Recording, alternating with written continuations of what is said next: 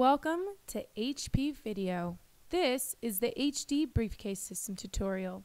In the following video, I will be walking you through on how to use the HD Briefcase System step by step. Take out the briefcase from its carrying case by easily twisting the knobs, then opening the case. Get the metal plate that is provided and insert it into the slot located underneath the briefcase. Twist the knob and make sure it's nice and sturdy. Having a stand with a male baby pin, you insert the briefcase into the stand and secure it tightly.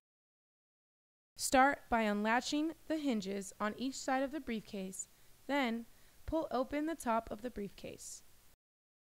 Get the power cord provided with the briefcase.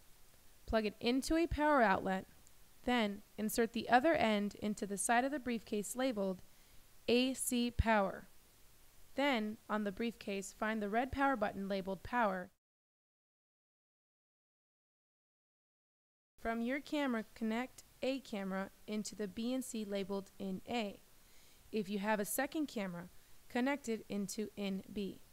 If you have audio, plug in a male XLR into where it's labeled Audio In on the top side where it's labeled in level, you can control the levels of the audio coming in. Located on the back side of the briefcase, you'll find a BNC and male XLR outputs for each channel. This allows you to send a video and audio feed to external monitors. On the top side, where it's labeled mute volume, you can control the audio levels going to your monitors.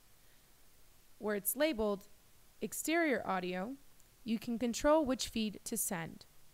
On the side of the briefcase where it's labeled A deck aux outputs and B deck aux outputs, you have two BNCs and one female RCA audio outputs for each channel, just in case you need any extra monitors you need to send a feed to.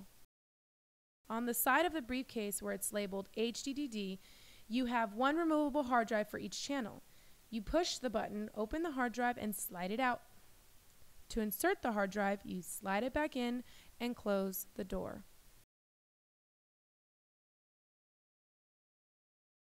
To record footage to the briefcase, on the screen select in between both channels to capture on both hard drives.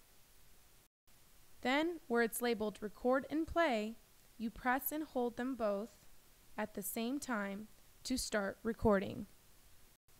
Then the screen should show the word recording on both channels. To stop recording, press the button that is labeled stop. Where it's labeled play, press the button once, then press the back arrow once, then press play once to start viewing playback on the last take. On the screen, you should see the words play on both sides. On your briefcase monitors, you should be able to see playback. Press the stop buttons to stop playback. To get ready to record again, press the record button once.